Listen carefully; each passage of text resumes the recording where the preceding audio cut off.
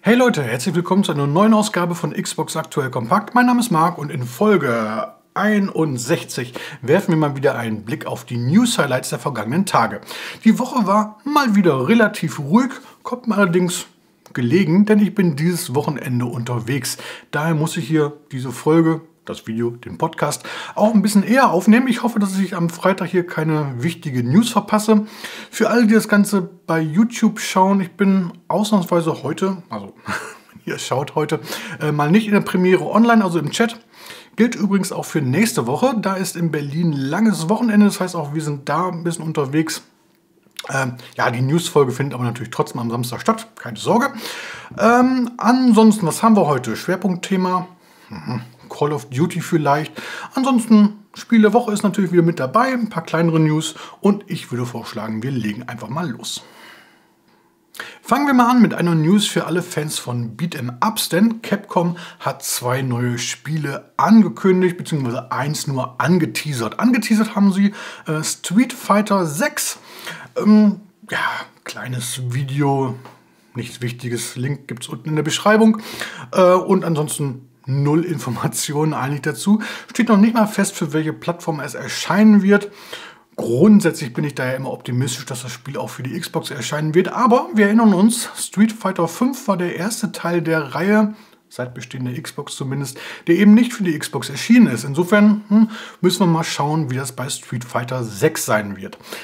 Was für die Xbox erscheinen wird, ist allerdings die Capcom Fighting Collection, eine Spielesammlung mit Beat'em-up-Klassikern. Erscheint am 24. Juni mit dabei.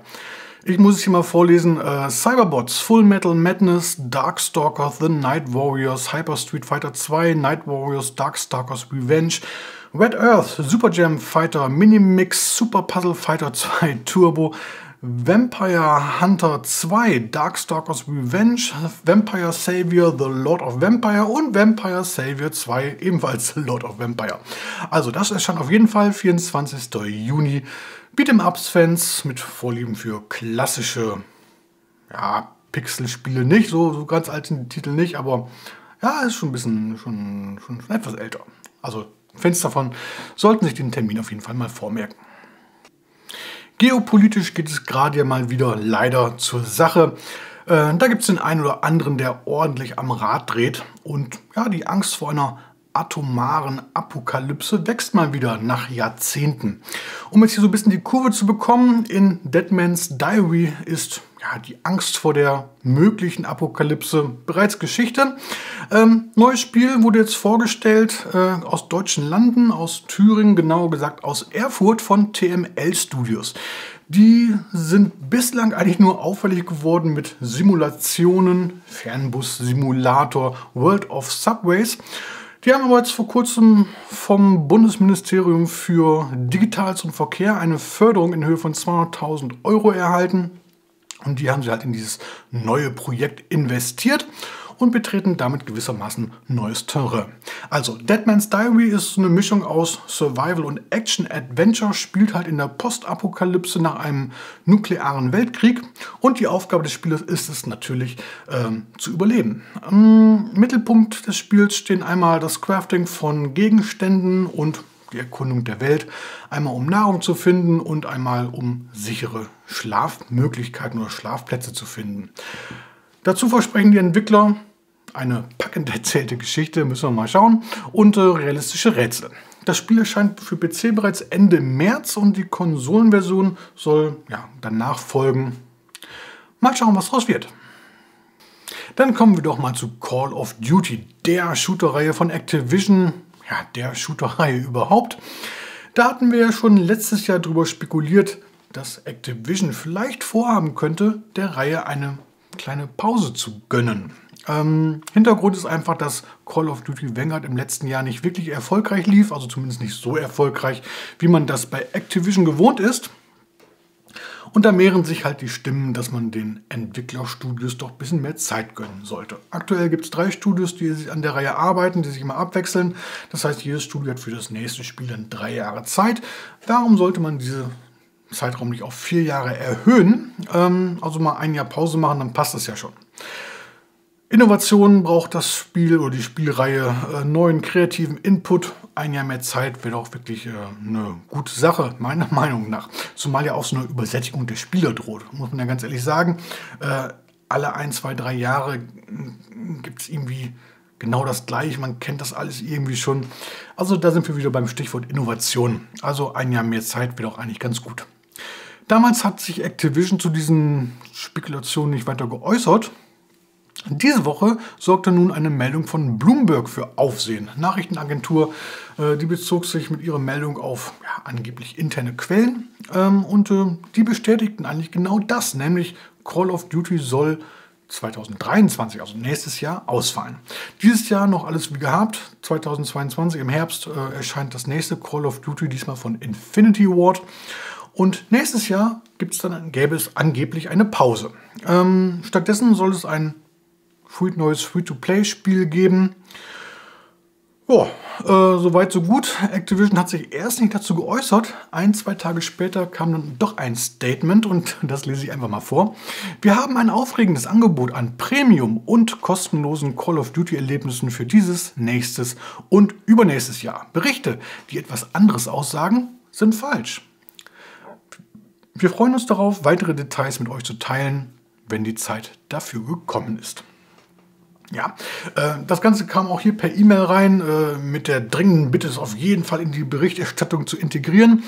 Ähm, ja, Berichte, die etwas anderes aussagen, sind falsch.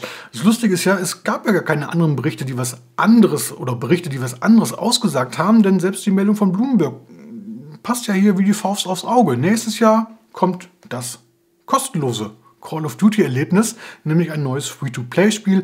Angeblich ist das dann Warzone 2. Und ja, was sind denn nun Premium Call of Duty Erlebnisse, die dieses nächstes, übernächstes Jahr kommen sollen? Ähm, na klar, das kann ein richtiges Call of Duty sein. Das können aber eben auch DLC-Inhalte sein, neue Seasons und was weiß ich nicht alles. Insofern ist diese Aussage von Activision jetzt erstmal weder eine Bestätigung noch ein Dementi. Im Grunde ist das rein gar nichts. Ähm, ich fürchte fast schon, Activision weiß selber nicht ganz genau, was sie gerade wollen. Ähm, ja, lassen wir uns mal überraschen, was da auf uns zukommt. Apropos auf uns zukommen. Der März eilt mit unaufhaltsamen Schritten und dazu habe ich diese Woche bereits zwei Videos veröffentlicht. Einmal die Spiele-Highlights März. Ähm, ich würde mal sagen, so der richtige Blockbuster, der richtig große Blockbuster ist jetzt nicht unbedingt dabei, aber das Angebot ist recht breit gefächert. Also für alle Vorlieben irgendwas, also da muss niemand leer ausgehen, sage ich mal. Shadow Warrior 3, Elex 2 Submerged, GTA 5 für die neue Konsolengeneration. Naja, äh, Tunic, da bin ich sehr gespannt drauf. Äh, Strangers of Paradise, Final Fantasy Origin und, und, und.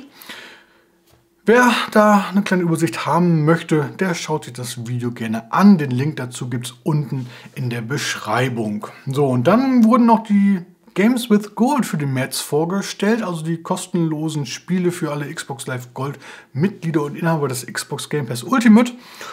Ja, und ich würde mal sagen, es gab schon mal schlechtere Monate, oder? Also The Flame in the Flood sagt mir jetzt, also kenne ich nicht, äh, sieht aber ganz lustig aus. Street Power Soccer, äh, für zwischendurch sicherlich mal ganz spaßig. Sacred 2 Fallen Angel, eigentlich ein ganz ordentliches Rollenspiel, ist optisch so ein bisschen in die Jahre gekommen, zugegebenermaßen.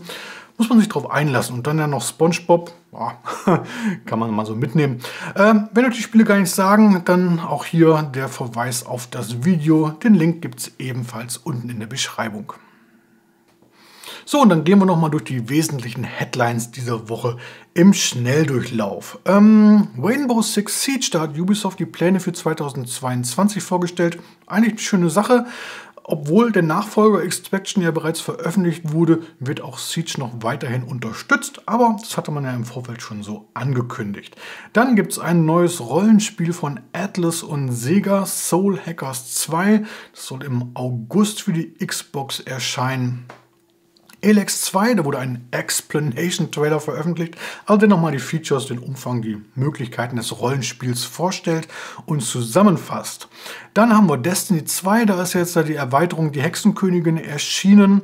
Zudem steht jetzt Season 16 in den Startlöchern. Dazu gibt es ein neues Video, ebenfalls ein neues Video in Form eines Entwicklertagebuchs gibt es zur Tennis-Simulation Matchpoint Tennis Championships. Und dann Assetto Corso, Competizione. Äh, ist seit 2020 schon für die Xbox One erschienen und äh, diese Woche folgt jetzt nochmal die Version für die neue Konsolengeneration. Ähm, Fall Guys Ultimate Knockout. Das Partyspiel des letzten, vorletzten Jahres. Wir warten ja hier immer noch sehnlichst auf die Xbox-Version und auch auf die Switch-Version. Und da hat jetzt Entwickler Mediatonic mitgeteilt, dass die Entwicklung nahezu abgeschlossen ist und dass es hier bald schon ein News-Update mit einem Release-Termin geben wird. Na also. Und dann haben wir ein Video mit einem Blick hinter die Kulissen von Lego Star Wars The Skywalker Saga. Neuer Gameplay-Trailer zu Shadow Warrior 3. Sieht ganz lustig aus.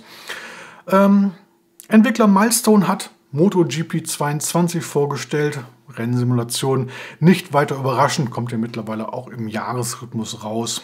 Ähm, Landwirtschaftssimulator 22. Ja, einige lachen immer noch, äh, aber ein sehr, sehr, sehr erfolgreiches Spiel. Da wurde jetzt das zweite kostenlose Content-Update veröffentlicht. Enclave HD. Äh, Ankündigung gab es ja schon im letzten Jahr, sollte eigentlich auch schon letztes Jahr erscheinen. Ähm, Remaster, Remake vom 2002 eher Klassiker, äh, damals für die erste Xbox erschienen von Starbreeze damals. Action RPG Hack and Slay.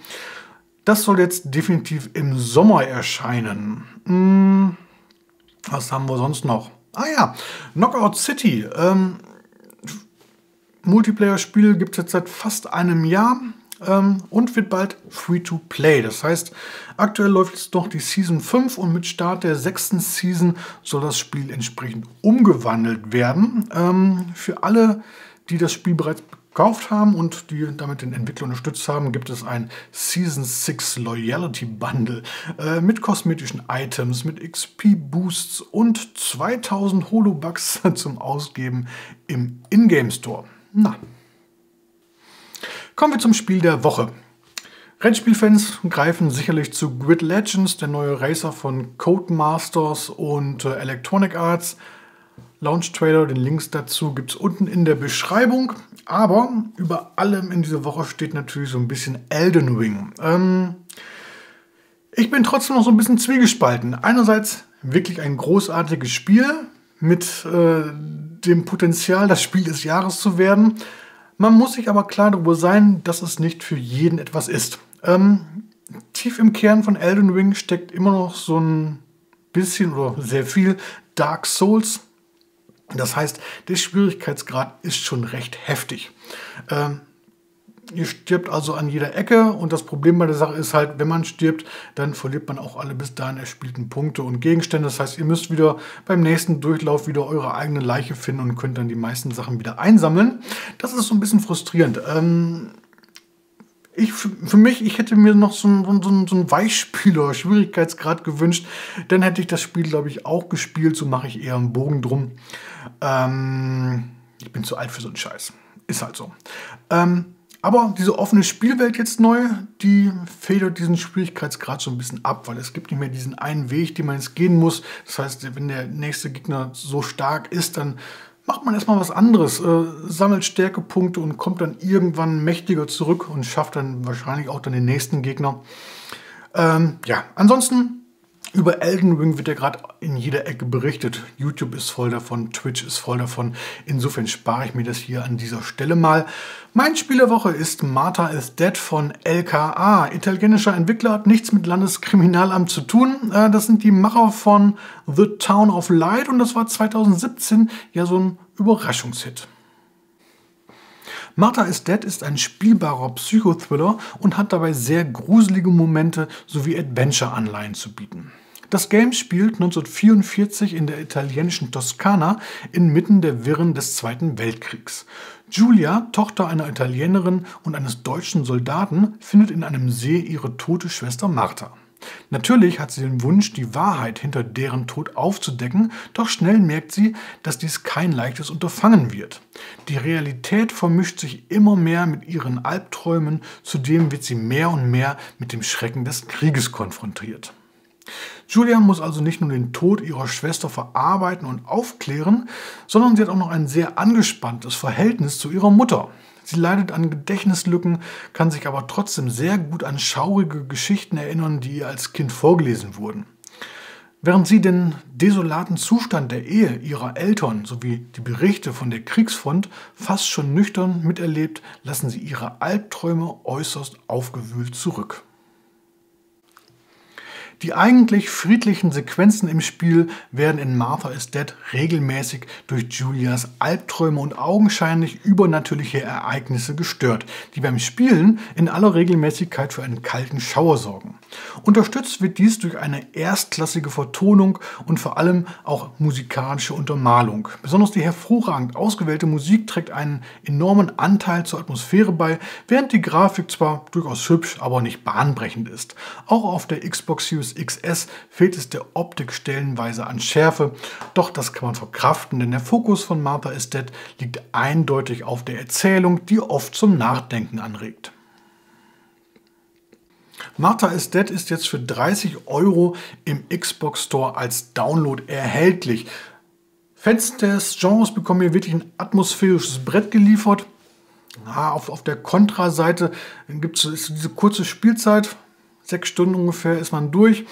Ähm, und hinzu kommt halt ein sehr geringer Wiederspielwert. Das heißt, wenn ihr die Story einmal kennt, dann ist natürlich der Reiz, das Ganze normal zu spielen, eher gering. Wer mehr über das Spiel erfahren möchte, der Test dazu ist bereits online. Unten in der Beschreibung gibt es den Link dazu. Werfen wir zum Abschluss noch mal einen Blick auf die kommende Woche. Da haben wir erstmal fünf Spiele-Releases, die ich hier auf dem Zettel habe. Vier erscheinen gleich am Dienstag, den 1. März. Einmal Conan Chop Chop, so ein Hack and Slash. Dann Pathfinder Wrath of the Righteous, ein Rollenspiel. Dann äh, Shadow Warrior 3 hatten wir eben schon mal, ein Shooter mit Katana. Momenten. Elex 2 hatten wir auch kurz eben äh, Rollenspiel, Action-Rollenspiel. Und am 4.3. am Freitag erscheint der Plattformer What Lies in the Multiverse. So, damit verabschiedet sich Xbox aktuell kompakt Folge 61 in den wohlverdienten Feierabend. Wenn euch das Video oder der Podcast gefallen hat, dann lasst gerne ein Like oder wenn noch nicht geschehen, ein Abo da.